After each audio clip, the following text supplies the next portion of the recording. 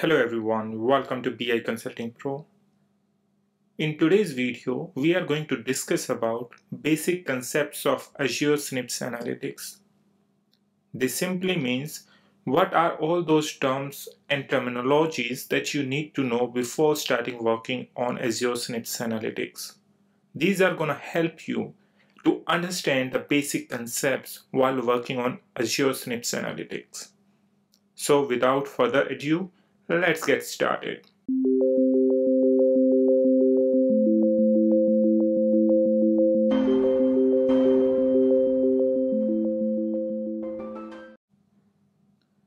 The very first concept is about the Synapse workspace. What is it? Well, a Synapse workspace is a secureable collaboration boundary for doing cloud-based enterprise analytics in Azure. A workspace is deployed in a specific region and has an associated Azure Data Lake Storage Gen2 account and file system. A workspace is under a resource group. A workspace allows you to perform analytics with SQL and Apache Spark. Resources available for SQL and Apache Spark are organized into SQL and Spark pools.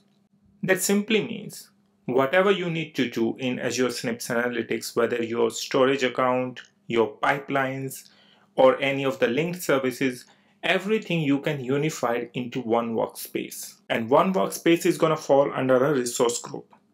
If you have any more question about this, you can ask me in the comment section. Next, we are going to talk about the linked services. Linked services are nothing but your connection strings you know that whenever you need to get a data from a source, then definitely you need to have the address of that source. And then, like we used to do in ETL, that means, for example, in SSIS or any other ETL tool, you need to establish a connection between the source and the destination or the staging area. So over there, you need to create a connection string that can be your database address, your file address, or anything else. So that's what is your linked services. A workspace can contain any number of linked services, essentially connection strings that define the connection information needed for the workspace to connect to external resources. Next, we are going to talk about Synapse SQL. Well, we all know that in order to connect with your data in a database or to explore the data over there, you need structured query language so that you can interact with the database. Similarly, Synapse SQL is the ability to do Transact SQL based analytics in Synapse Workspace. Synapse SQL has two consumption models. Either you can buy a dedicated one or you can go for the serverless one. For the dedicated model, you use dedicated SQL pools. That means you have already predefined dedicated units over there. Those cannot change automatically. But if you want something like, for example, you are working on production and you can have sometimes sudden peaks into the data usage. So then in that case, you can go for the serverless and that can automatically be adjusted. To use Apache Spark Analytics, create and use serverless Apache Spark pools in your Synapse workspace. When you start using a Spark pool, then the Synapse workspaces create a Spark session to handle the resources associated with that particular session. Mainly there are two ways within Synapse Analytics to use Spark. The one can be your Spark notebooks, which you can use to do your data science and engineering, like use of Scala, PySpark, C Sharp, or Spark SQL. Another option over here can be the Spark job definitions, which you can use for running batch Spark jobs using jar files. Now, there's another very important concept over here, which is the pipelines. So now the next concept is pipelines. If you have worked on Azure Data Factory, then I'm sure you already aware about what are the pipelines.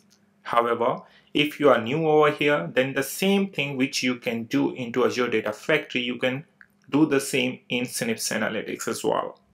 And here, pipelines is the exactly the same concept. Pipelines are how Azure Synapse provides data integration. That means how you can do your ELT or ELTL operation allowing you to move data between services and orchestrate activities. Over here, there are the certain terms that you should remember or you should be familiar with. For example, a pipeline.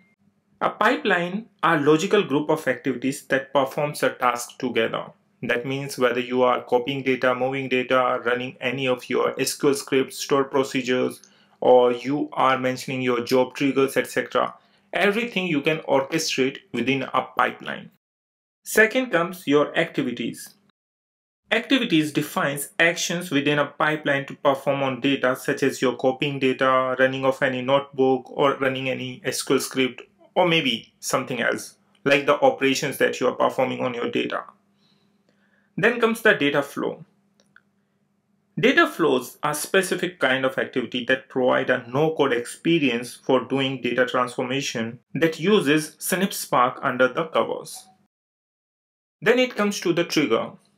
So definitely when you create a pipeline, you want to trigger it at a certain time or at a particular schedule.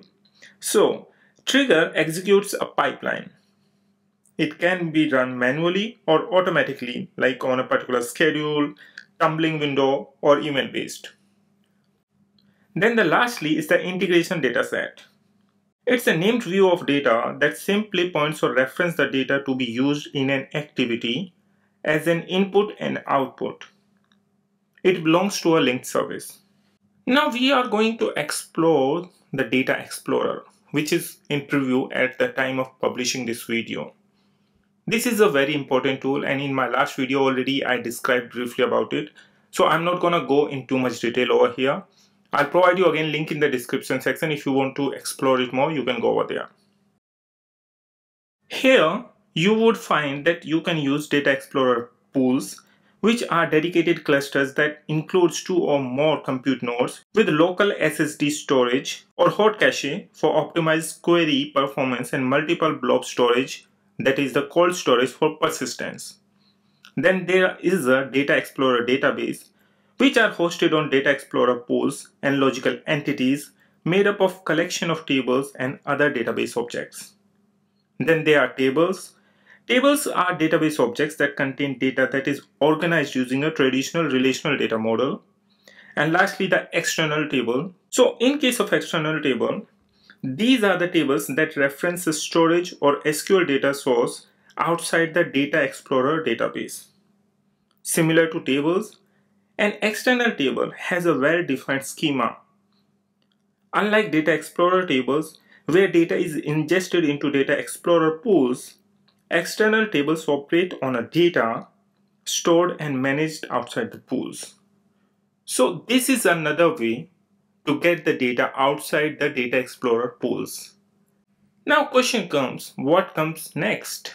Well, in our next video, I am going to create a Synapse workspace and we will go through each and every step over there.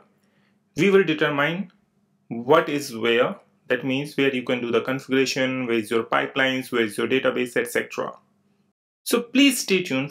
See you in the next video.